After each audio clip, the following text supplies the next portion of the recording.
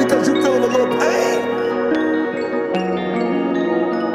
Not a whole lot of hurt I can feel.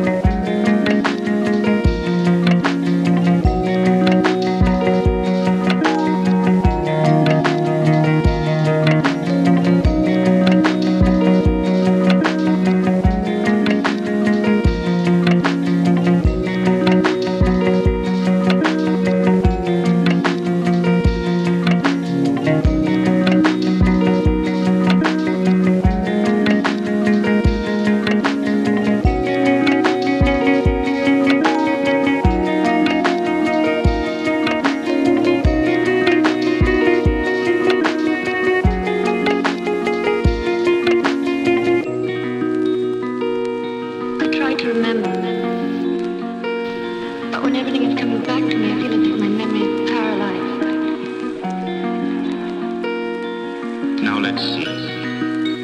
What is the last thing you can remember?